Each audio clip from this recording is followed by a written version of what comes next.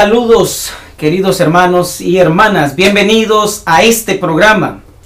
Como siempre los viernes aquí una reflexión espiritual y de seguro que usted ha disfrutado de cada uno de nuestros temas hasta aquí compartidos. Así que hoy no es la excepción. Gracias por estar aquí y acompañarnos en estas reflexiones de crecimiento. Si usted no crece en ellas, definitivamente no sirven. ¿De qué sirven? De nada debe de ser siempre un mensaje de inspiración, de motivación espiritual, de un crecimiento moral, de conciencia, de espiritualidad, de consagración. Y por fe creo, y también por sus testimonios y los comentarios que nos hacen de una u otra manera, que estos programas han sido de bendición. Así que bienvenidos, bendecidos y, ¿por qué no?, recibir el reposo divino en estas horas sagradas. Les comparto el siguiente pensamiento en el libro Consejos sobre la Salud, página 86. Se titula El dominio propio. De hecho, este es el nombre del tema de hoy. Cuando Cristo se veía más fieramente asediado por la tentación, no comía. Se entregaba a Dios y gracias a su ferviente oración y perfecta sumisión a la voluntad de su Padre, salía vencedor. ¿Qué hacía Jesús cuando era tentado? Tres cosas. Número uno dice aquí, no comía buscaba la forma de vencer y una de esas formas era no comer. Eso dice la inspiración. ¿Qué hacemos nosotros cuando somos vencidos? Cuando somos, perdón, tentados. Segundo, se entregaba a Dios. Allí es donde fallamos la mayoría. Una entrega total al Señor. Muchos hablamos de orar, de consagrarnos, o hablamos de estudiar las escrituras, de ir a la iglesia, de hacer obra misionera, de alzar la voz, de vivir esto y lo otro. Pero yo le pregunto a usted y pregúnteme a mí, el cielo nos pregunta, ¿hemos hecho una entrega total a Dios? Bueno, Cristo para vencer la tentación se entregaba a Dios y gracias, gracias a su ferviente oración y perfecta perfecta sumisión a la voluntad de su Padre, salía vencedor. Así que gracias a la oración número 3, en unión a la sumisión, salía vencedor.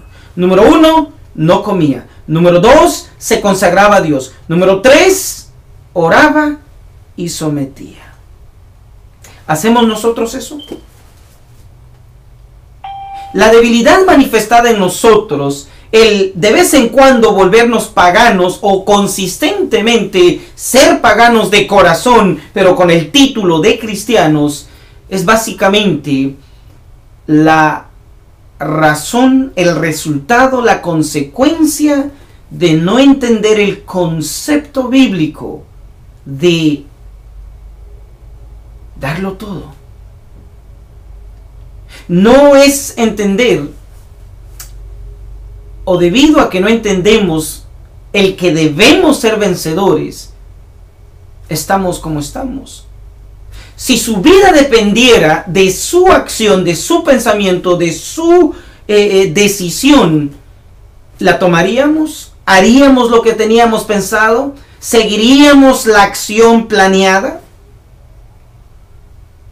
Pero no, jugamos con la salvación, jugamos con nuestra eternidad, jugamos con nuestra conciencia, jugamos con Dios, jugamos con su palabra. Pero hoy, hermanos, cada día es una oportunidad, es una oportunidad de consagración, de mejoría, de reforma, de reavivamiento, de entrega total. Y por eso estamos aquí desde que la verdad profética existe como programa, ese es el objetivo. Llamar a nuestro pueblo a hacer conciencia. de su salvación. De la salvación individual, nadie puede salvar a nadie, pero sí podemos ser aquellos que despertemos conciencia a esta realidad, que no podemos ser vencedores a menos que lo hagamos como lo hizo Jesús. ¿Y cómo lo hizo Jesús? Lo hizo de tres maneras. No comía, se entregó completamente a Dios, oraba y se sometía. ¿Qué poder tiene el ayuno como se nos explicaba hace un tiempo? Y hay diferentes tipos de ayunos. Pero no nos haría mal dejar de comer, ¿verdad? Porque la mente estaría más eh, capaz, relajada, apta para discernir algunas cosas que nos bloquea ese plato de comida, o esa ensalada, o ese jugo. Ya ni hablar de la hamburguesa y la pizza y, lo que a veces nos metemos, el pollo y, y ustedes saben, todo eso que a veces comemos. ¿Cómo estamos? Una vez vino una hermana y le dijo a un pastor muy conocido, pero por privacidad no lo voy a mencionar más que la historia. Le dijo, pastor, pero es que yo no entiendo. Sé que usted predica bien, pero yo no entiendo por qué yo no puedo vencer. Y le dijo el pastor, hermana, dígame, ¿usted sigue comiendo carne? Y le dice la hermana al pastor, ¿y usted cómo sabe? Es que su dieta tiene las consecuencias de ser vencida por el pecado, de ser vencida por aquello que usted no puede lograr tener éxito.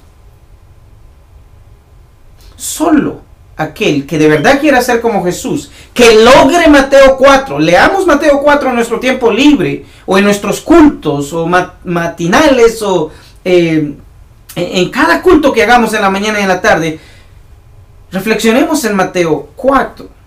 A menos que lleguemos a ser como Jesús, hermanos, no podremos. No podremos, no seremos, no somos vencedores. Pero hoy, en el nombre de Dios y en su palabra, les invito a que lo hagamos, a que decidamos ser esas personas, cristianas, hijos de Dios, vivir a la altura de lo que creemos.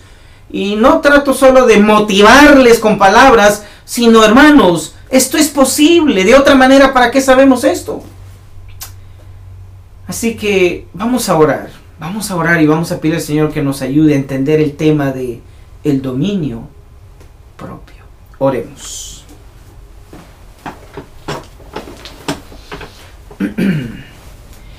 Querido Padre, muchísimas gracias por esta hora. Bendice tu palabra. Llénanos de tu inspiración, aquella que le diste a Adán antes de pecar, aquella que leíste a Moisés allá en la montaña cuando recibía tus mandamientos. Ayúdanos a tener ese encuentro en nuestra desesperación con el pecado, en nuestra condición miserable a veces que nos encontramos. Oh bendito Dios, manifiéstate a nosotros como lo hiciste con Elías allá en aquella cueva, allá donde él solamente se encontró consigo mismo y con el Dios de la salvación. Danos el entendimiento, Padre, del poder que hay en el dominio propio. Y el dominio propio tiene un precio, tiene un costo. Hay cosas que realizar para lograrlo. Y en tu sangre, y en tu poder, y en el Espíritu Santo, declaramos tu bendición hoy sobre nosotros y sobre tu pueblo. En el nombre de Cristo Jesús. Amén.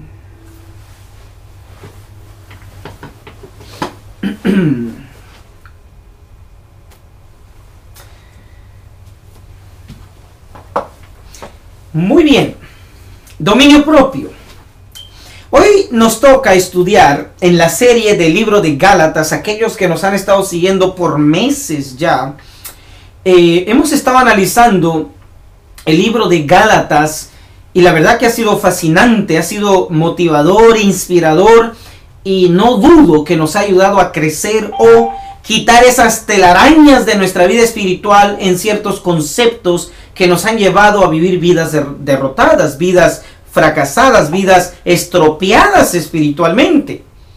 Pero alabo al Señor que estoy seguro que si algo podría cubrir, una frase podría cubrir todo lo que hemos estudiado podría ser como otra oportunidad, despertar conciencia, eh, levántate. Otra palabra que podría cubrir el mensaje de Gálatas es continúa. Eh, otro concepto que hemos aprendido aquí es libertad en Cristo o Cristo en nosotros y así, etcétera, etcétera, etcétera. Frases de oportunidad, frases de sí se puede, frases de todo lo puedo en Cristo. El problema con los Gálatas era, habían olvidado quién era el que los sostenía, quién era el que los había llamado, cuál era el Evangelio. Pero el libro de Gálatas viene y les da otra oportunidad. El mensaje para nosotros. Gálatas capítulo 4, hoy nos toca analizar el versículo Gálatas capítulo 4, hoy nos toca analizar el versículo 9 y dice así, mas ahora, tiempo presente, habiendo conocido a Dios. Pero luego el apóstol cambia y dice, o más bien, siendo conocidos de Dios. ¿Cómo es que os volvéis de nuevo a los débiles y pobres rudimentos o rudimentos en los cuales queréis volver a servir.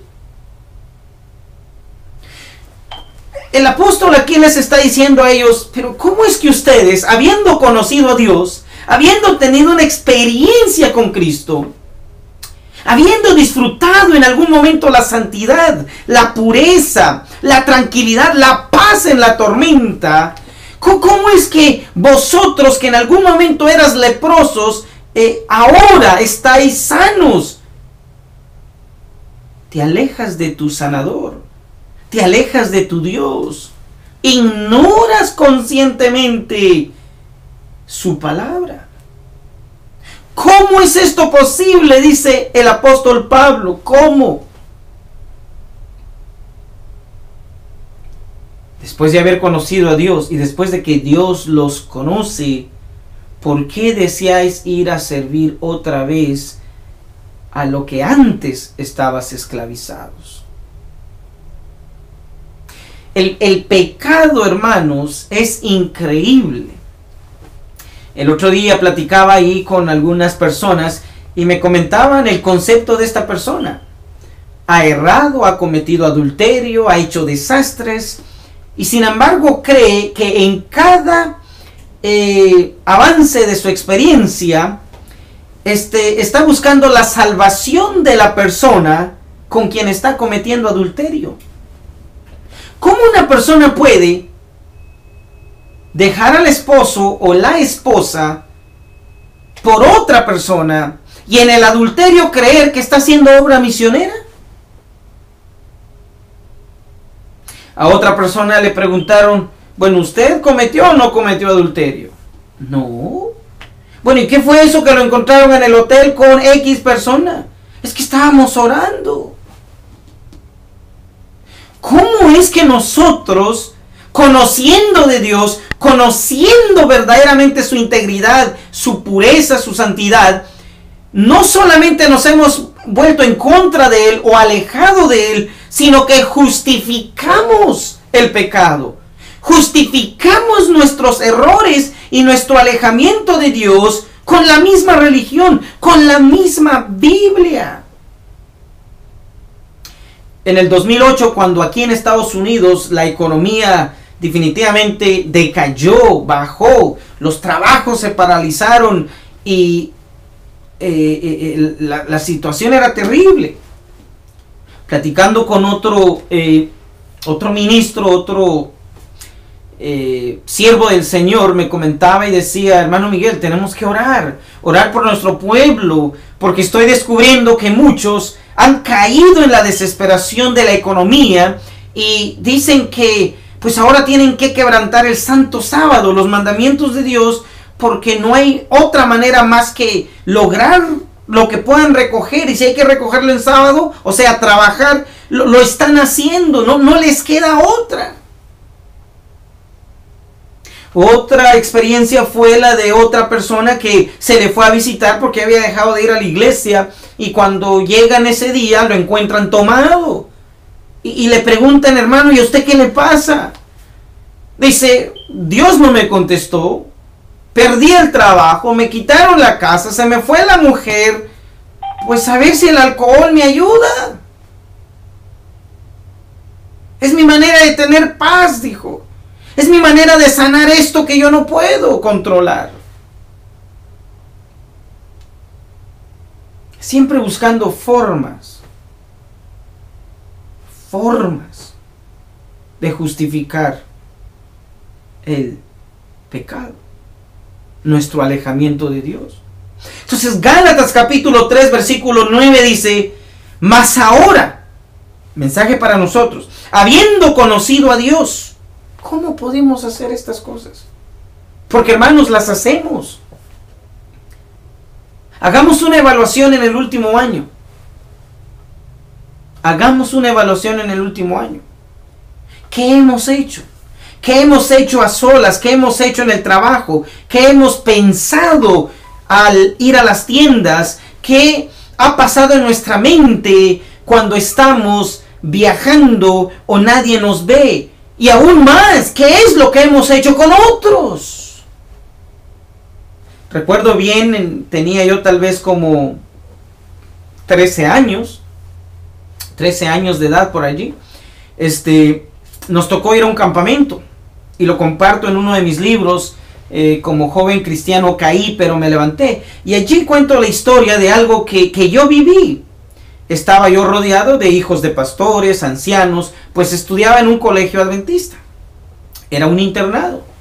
Entonces nos tocó ir a un campamento. Salimos el jueves, llegamos el viernes al lugar y siempre hay alguien que dice hagamos esto y lo otro. Yo sabía, como todos ellos, que teníamos que ir a inscribirnos porque era viernes, nos iban a alojar, etcétera, etcétera. Pero se le ocurrió a uno decir, a ver, ¿quién de los que está aquí es verdaderamente hombre que se tome una cerveza?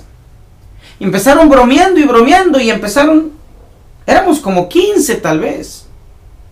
Hermanos, Dios es mi testigo, se emborracharon 14 con excepción de mi persona. Y estoy hablando hijos de pastores y ancianos y miembros. Y todo esto se justificó que éramos jóvenes, que no era ningún problema, que Noé se emborrachó, que los sacerdotes tomaban vino, que que, Pablo decía que un poquito no era malo, pero este poquito en ellos los emborrachó. Si hubieran visto el escándalo que ocurrió. Pero justificando, somos débiles. ¿Cómo es posible que, que tanto jóvenes, viejos y adultos, conociendo a Dios, dice Pablo, volvemos a servir a las cosas débiles? A los rudimentos en los cuales dice queréis volver a servir. Y le da dos nombres, dice cosas débiles y pobres.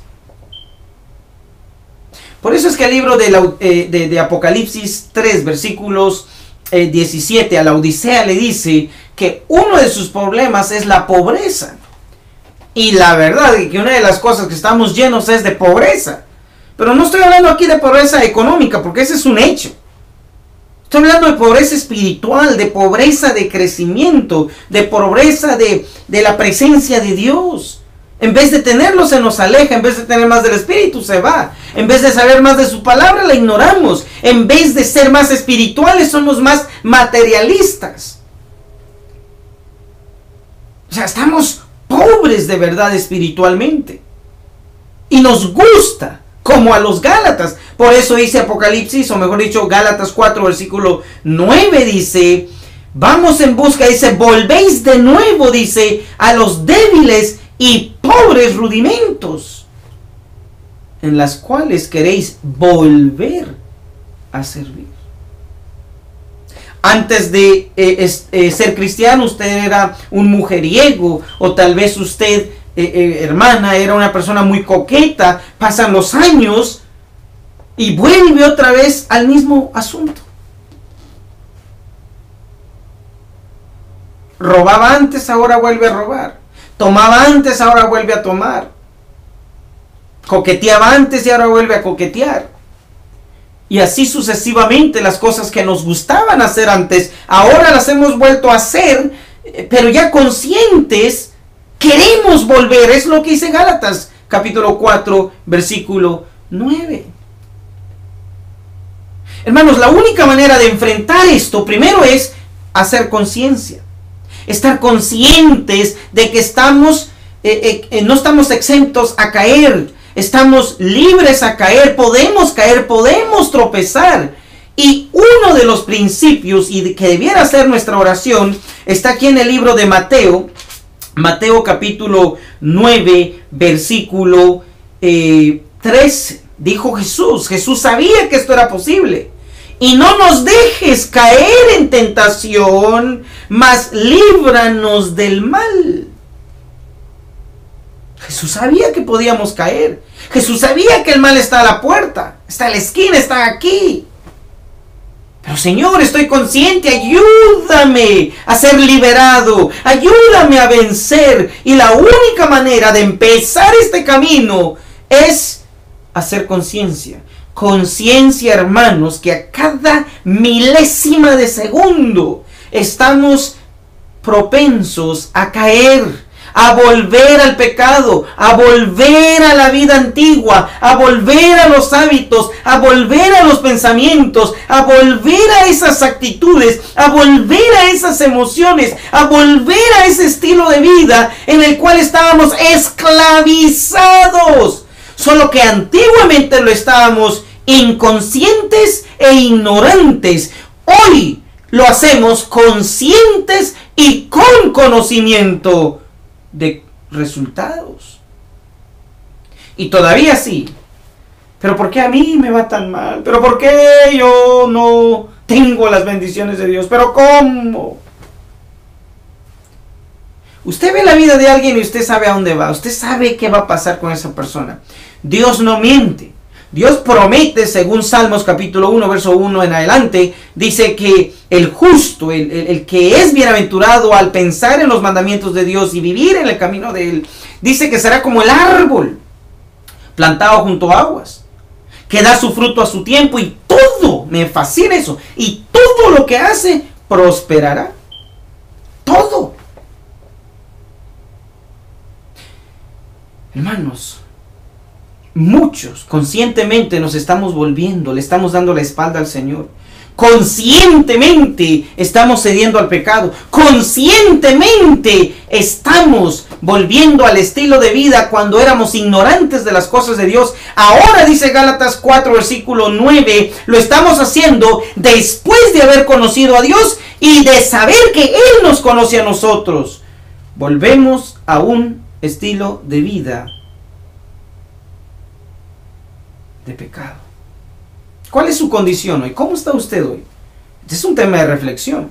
¿Tiene usted dominio propio? ¿Está usted consciente? El, dominio propio no, no, funciona por milagro. Oh Señor, Señor, en el nombre de Jesús te imploro que me des dominio propio. No, no, esto no funciona así. Si usted come más cuando se sienta en la comida, ahí está echando a perder ya su oración. Si usted no sabe lo que es un no y lo que es sí en su vida, o en el matrimonio, o en sus relaciones, o en el trabajo, si usted no entiende lo que es una luz roja, verde y amarilla, si usted no entiende lo que es eh, guardar el sábado en sus extremidades, que son el comienzo y el final, si usted no entiende la importancia de no dormir más de lo que debe hacer, si usted no entiende eh, el, poder que tiene de escoger sus pensamientos, sus palabras y sus acciones, si usted y yo no entendemos lo importante que es la higiene y esos detallitos, esas cosas pequeñas, deje de orar porque Dios no va a hacer un milagro con usted. El dominio propio se ejerce en cada pensamiento, en cada sentimiento, en cada acción, en cada hábito, en cada estilo de vida. Y es formado por esas pequeñas cosas que hacemos o dejamos de hacer. Entonces, cuando uno está consciente de eso, la oración hace milagros. Entonces Dios dice, sí hombre, sí, si Juanito de verdad quiere cambiar, míralo. Hermanos, tenemos que parar con esos sermones satánicos, esos sermones que nos están llevando a perdernos, que solo la gracia de Cristo y no se necesita nada más.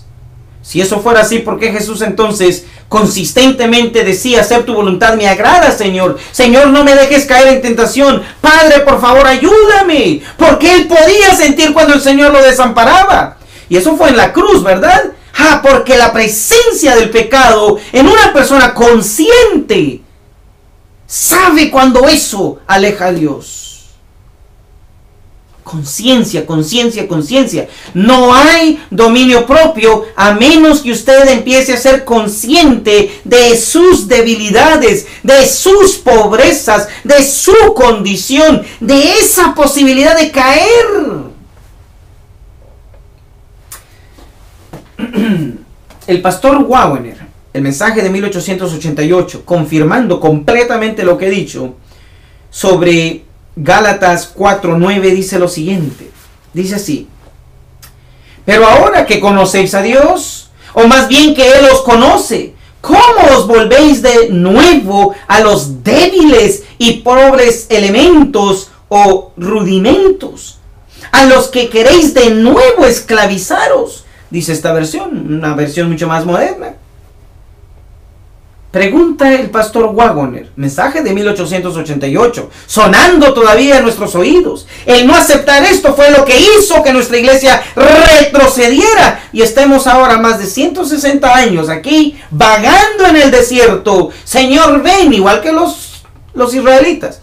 Y no bien, hermanos, porque muchos de los que estamos aquí vamos a morir, pero vamos a morir por impíos en el desierto. Y los únicos que van a triunfar, así como en el pasado, fueron jóvenes.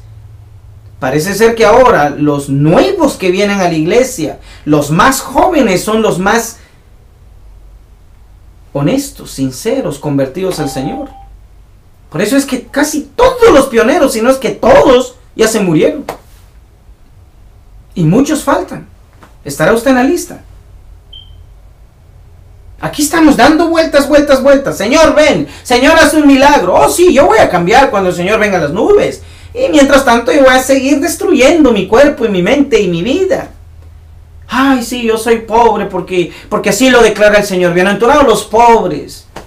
Si entendiéramos lo que, lo que de verdad quiere decir eso. Bienaventurados los pobres. No pobres económicos, sino... Vamos a estudiarlo. Nuestra situación, hermanos, es determinada no por Dios, es determinada por nosotros. Nosotros determinamos nuestra situación actual. Y el mensaje de 1888 dice así, no resulta extraño que el hombre quiera seguir enamorado de las cadenas pasadas. Estoy leyendo las buenas nuevas del libro de Gálatas, página 111, versión libro. Y si eh, lo encuentra en la versión digital, puede buscar un subtítulo, La esclavitud pagana. ¿Cómo es que esto es posible? Dice el pastor Wagner. Y luego contesta, Cristo ha proclamado. Si usted hoy en este momento me dice que sigue esclavizado, el otro día me llamó un hermano, que la verdad es, es a veces a veces uno quisiera mejor que esta gente ni lo llame a uno porque en vez de animarlo solo desaniman. Pero bueno, esta persona eh, llamaba primero para pedir un consejo, explicar una situación. Y pues hermanos, ¿qué mejor consejo que lo que está escrito? Y empieza, no hermano es que usted no entiende, no hermano es que usted no me entiende, usted no está en mis zapatos. Y le digo, eso es cierto, yo no estoy en sus zapatos y la verdad es que tal vez no le entiendo, pero usted debe entender lo que el Señor dice. No, pero es que hasta que a usted le pase. O dígame, me dice, usted no es un pecador. Usted no peca. Usted no está en esa lucha. Pero le digo, hermano, espérese. Yo no le llamé a usted, usted me llamó a mí. Porque en mis luchas y en mis debilidades y en mis confusiones y en mis tropiezos yo sé a quién ir. Y yo sé lo que el Señor dice. Sé cómo levantarme, sé cómo mantenerme, sé lo que significa estar en Cristo, sé lo que significa la sangre de Cristo, sé lo que significa personalmente no tener nada que presentar más que injusticias, trapos sucios. Pero por eso tengo un Salvador, por eso sé a, dónde acudir y poder ser restaurado y transformado. Al final le dije, mira hermano, ¿usted quiere los consejos del Señor o quiere justificar sus pecados? Porque si me llamó para justificar sus pecados, la verdad es que no tengo tiempo y mejor aquí dejemos la conversación. Y yo le pregunto a ustedes, hermanos, ¿cómo vivimos esclavizados nuevamente a conciencia en el pecado? ¿O estamos conscientes del pecado y buscamos la ayuda que está allí consistentemente a nuestro favor para salir del pecado? El momento, si usted quiere saber cómo ser liberado de su condición, debe primero hacer conciencia de su debilidad. Dice el pastor Wagner, Cristo ha declarado libertad a los cautivos. Entonces, si el Señor vino a liberarnos, ¿cómo es que estamos cautivos otra vez? Porque era el problema de los Gálatas libertad a los cautivos y a los presos, cualquier prisión de lesbianismo, homosexualismo, de, de eh, sexo, de alcohol, de drogas, de orgullo, de envidia, de celos, cualquier prisión y a los presos apertura de la cárcel. Eso está en Isaías 61.1. También dijo el Señor en Isaías 49.9 dice aquí, diciendo a los prisioneros, salid. Y a los que están en tinieblas dice, manifestaos. Queridos hermanos, es tiempo que si eres un hijo, salgas a ser el mejor hijo, el mejor padre, la mejor esposa, el mejor niño, el mejor joven. Tenemos que manifestarnos, salir. Hermanos, aquí no es un milagro, aquí es algo que uno decide hacer el, dominio propio es el timón. Es como en un carro, a veces te jala para un lado y te jala para el otro, pero uno sabe que si uno se va para la derecha se va a ir al, precipicio, si uno se va a la izquierda va a ir a chocar, va a tener un accidente. Así que uno trata y busca estar centrado, concentrado, enfocado y espiritualmente no es diferente. El dominio propio primero despierta, hace que usted y yo despertemos la conciencia, estemos conscientes de, las posibilidades de caer, de ser tentados, de ser vencidos. Y por lo tanto se activa ahora nuestra voluntad, la voluntad consagrada, la voluntad disciplinada, la voluntad entregada al Señor. Y una vez combinada con la del Señor, ¿qué, qué puede ocurrir? Dominio propio. Usted ve una mujer mostrando todo y usted dice, pobre mujer, está desnuda. Pero usted se controla. Tal vez le gustaba tomar o fumar o endrogarse y volverá a tener la tentación y a verlo y aún se le va a sugerir en los momentos más débiles de su situación. Pero usted tiene dominio propio porque ha venido construyendo en el Señor esa capacidad de ejercitarlo. Trabaja otras tres horas los viernes. Te voy a pagar más. No, no, no quiero que trabajes, solo quiero que vengas a revisar el sábado X cosa. Te voy a pagar más. Dominio propio, primero, está consciente de la posibilidad de caer. Segundo, despierta esa capacidad, la voluntad que Dios ha puesto en el ser humano para poder decidir vencer y para vencer. Es tiempo de manifestarnos como lo que debemos de ser hijos del Altísimo, hijos del Rey, hijos de Dios, la luz del mundo. Es increíble cómo Jesús nos enseña conceptos que nosotros no tenemos ni idea de lo que es. Hermanos, yo apago ahorita la luz, ¿qué pasa? Si, si, si apagamos la electricidad, ¿qué pasa? Toda esta transmisión se apaga. Pues usted y yo, a ver si, si medio entendemos este asunto. Cuando el Señor dijo que somos la luz del mundo, eso quiso decir, somos la luz del mundo. El mundo existe, el mundo tiene oportunidad, el mundo podría salvarse gracias a nosotros. Porque nosotros ahora somos los transmisores, somos el medio para llegar a esta gente. Somos la luz del mundo. Y aún creo que no me entendieron. Pero ¿qué si dejamos de pensar que somos la luz del mundo? ¿Qué si decidimos ser la luz de nuestro hogar, de nuestra familia, de nuestros hijos, de nuestra esposa, de nuestro esposo? De, de, esa vida personal. Óigame, porque si Jesús está en uno, ¿qué somos? Luz. Y no le entro ese asunto de la sal, porque también digo que somos la sal, la sal de la tierra. Y la verdad que mejor voy a invitar a una hermana que nos explique, que sepa un poco de cocina, y nos explique lo que hace la sal. Y la sal no solamente sirve para la comida.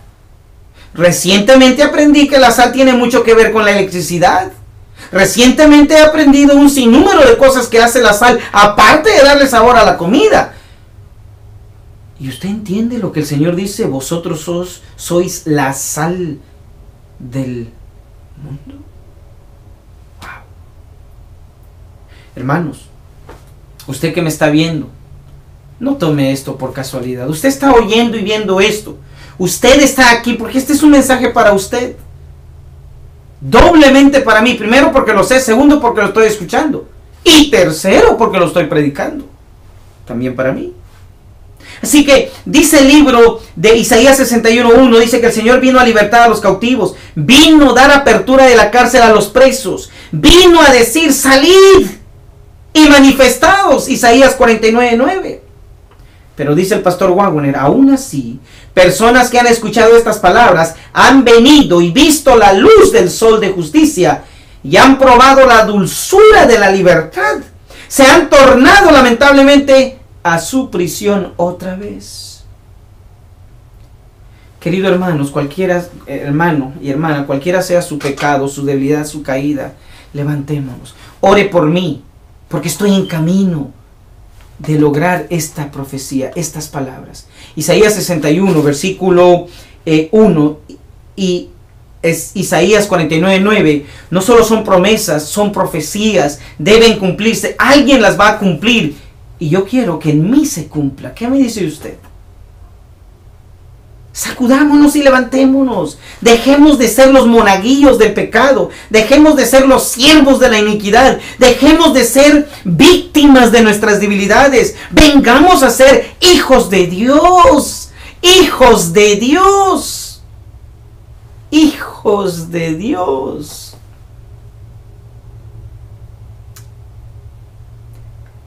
Yo sé que muchos tal vez no les gusta mi manera de predicar mi manera de exponer, mi manera de ser. Pero ¿qué importa eso? Esto es palabra de Dios.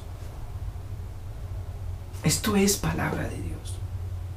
Pero lamentablemente muchos que han disfrutado la libertad, la pureza, la santidad, la presencia del Señor, dice, nuevamente han tornado a su prisión, sometiéndose a la esclavitud con sus viejas cadenas. Incluso, no solo se someten, acariciándolas y esforzándose en el duro tráfago del pecado. Wow. O sea, hay gente no solo que está consciente que está alejada de Dios, sino con gusto y placer está buscando otra vez la iniquidad, el pecado, el desvío, el tropiezo, la caída. Wow. Eso no nos hace hijos de Dios, nos hace dos veces hijos del infierno dos veces hijos del diablo. Ay, hermano, no sea tan cruel y tan duro, porque Jesús no fue así. ¿Se acuerdan que Jesús allá en San Juan 8 le dijo a los judíos, a todo el pueblo, vosotros de vuestro padre el diablo sois? Hermanos, lo, lo, que es, cada quien con lo que es. ¿Es usted hijo de Dios o es hijo del diablo? ¿Soy yo hijo de Dios o soy hijo del diablo? Sencillo. ¿Cómo puede ser que una mujer que conoce todos estos principios, teniendo al marido al lado, yendo los dos a la iglesia, diciendo que no ama al marido y que ama al amante? ¿Cómo es eso, hermanos? O viceversa. increíble.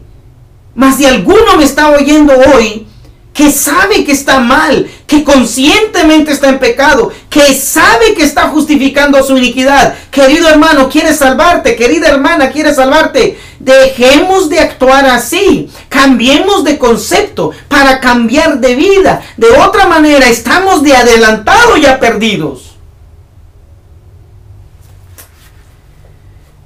Pregunta el pastor Wagner, ¿quién no ha experimentado un poco de esta experiencia?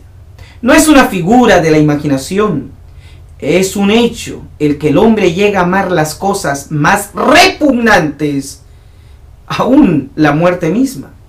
Pues Proverbios 8:36 dice, los que me aman, los que me aborrecen, perdón, aman la muerte. Proverbios 8:36. En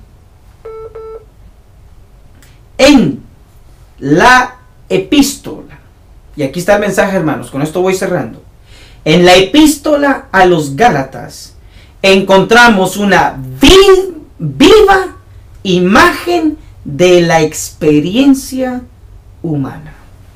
¡Wow! A ver si lo agarró. Dice el mensaje de 1888 que Gálatas capítulo 4, o mejor dicho, Gálatas, Allí está una viva experiencia, no solo de los hijos de Dios, no solo de los Gálatas, no solo de la iglesia adventista, sino de toda la humanidad. Eso es tremendo, hermano. Se repite en los hogares, se repite en la vida personal, se repite en la iglesia, se repite como hijos, padres, esposos, líderes, pastores, ministros, presidentes. Se repite en todos la misma historia si no estamos conscientemente que hay que eh, eh, eh, manifestar dominio propio en todo y conciencia de que estamos listos a caer y conciencia que necesitamos depender de Dios y de nuestros esfuerzos, repetiremos la historia.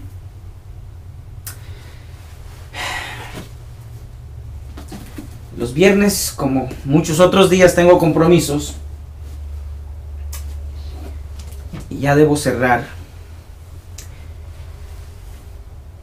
Y voy a cerrar con el siguiente pensamiento. Mente, carácter y personalidad. Tomen notas, hermanos. Tomen notas, subrayen esos libros. Soy amante de subrayar esos libros, de rayarlos. Y poder repasarlo en su debido momento. Hay todo un capítulo que se llama este, Mente, Carácter, Personalidad, página 319, eh, capítulo 34. Y miren lo que dice aquí. Controle la conciencia y cultive una disposición afable. Hermanos, esto es más que orar. A mí me gusta orar y debemos de orar, pero la oración no va a ser todo por nosotros. Hay gente que ora y no paga diezmos y piensa que orando sus diezmos van a ser pagados. Hay gente que ha hecho un mal y se la pasa orando en vez de ir a pedir perdón. Hay gente que ora y no lee la Biblia. Piensa que eso cubre todo eso. Hay gente que quebranta los mandamientos de Dios y ora y cree que todo eso ya está bien. No, no, no, no, no, no. Aquí hay que hacer conciencia de que lo que está mal está mal. Uno desobedece, hay consecuencias. Aunque oremos. Todos Estoy en Mente, Carácter y Personalidad, tomo 1, tomo 1, página 319, 319, tomo 1 de Mente, Carácter y Personalidad y dice, todos. Esto es papá, mamá, el hijo, el cuñado, la suegra. Ahora, ¿cómo hay destrucciones de hogares entre los mismos familiares?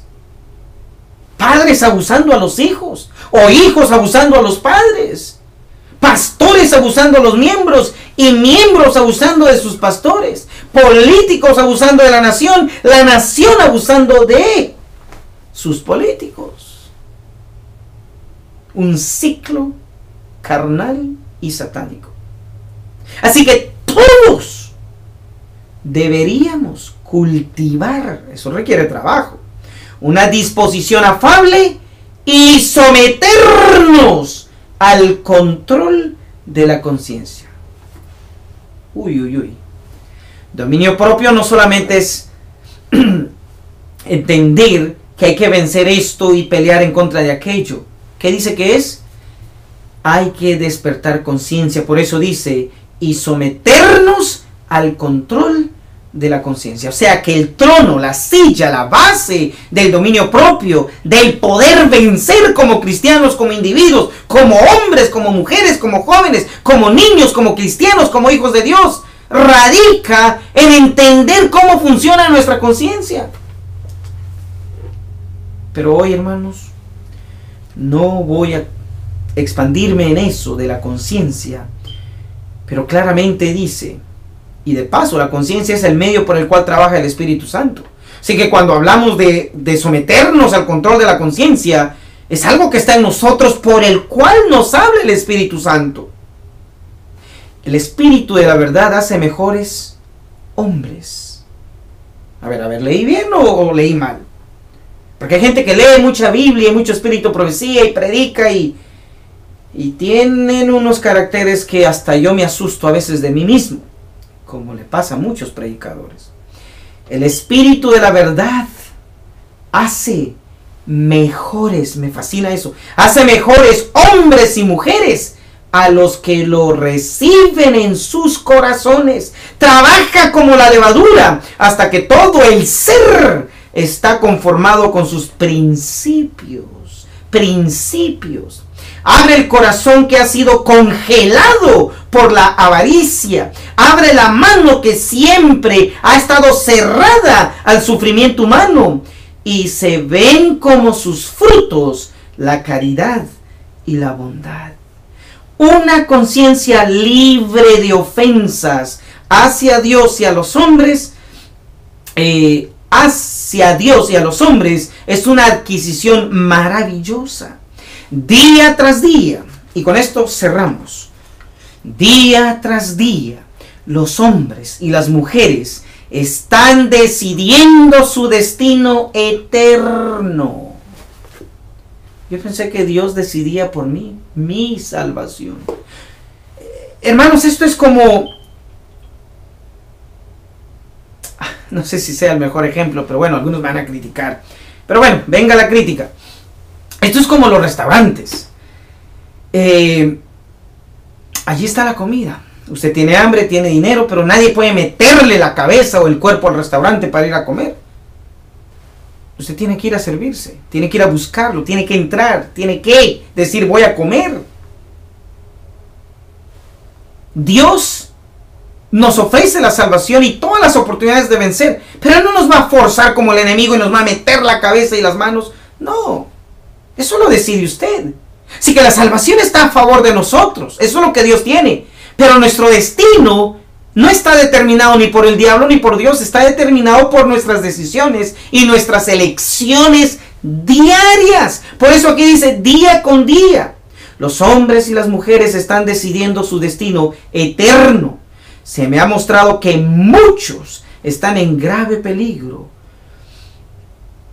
Cuando un hombre hará o dirá cualquier cosa para lograr sus fines, nada sino el poder de Dios puede salvarlo. Su carácter necesita ser transformado antes que pueda tener una buena conciencia, libre de ofensas hacia Dios y los hombres.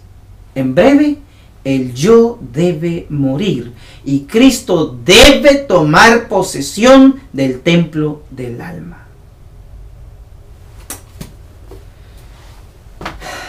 ¿Quién decide eso? Usted. Dominio propio es el resultado de un buen trabajo de día a día.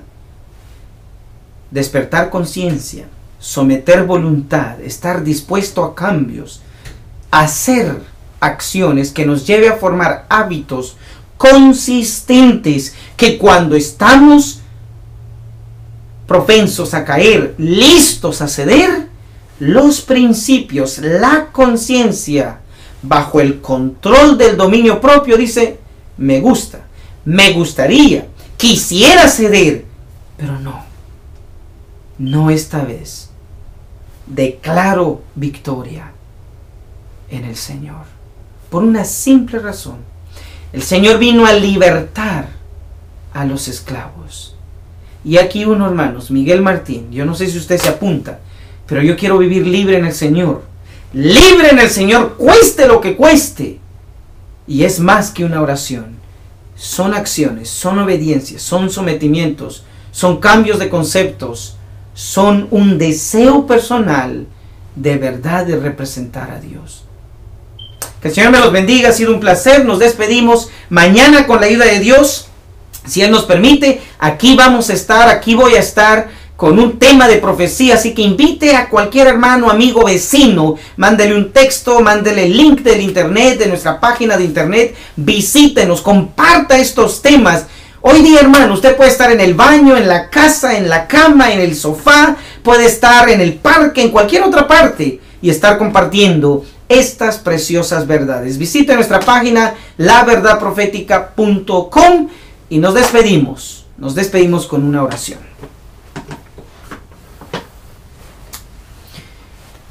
Querido Dios, gracias por la oportunidad que nos das a todos de vivir en libertad. Ayúdanos pues a entender lo que es el dominio propio.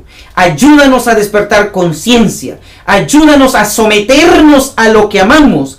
Ayúdanos a formar esos hábitos consistentes para que cuando llegue la prueba, la tentación, nos puede gustar, nos puede fascinar, podamos, pudimos haber estado adictos a ello, pero en tu nombre podemos ejercer dominio propio y ser vencedores. En el nombre de Cristo Jesús, declaro bendición sobre tu pueblo. En Cristo Jesús. Amén.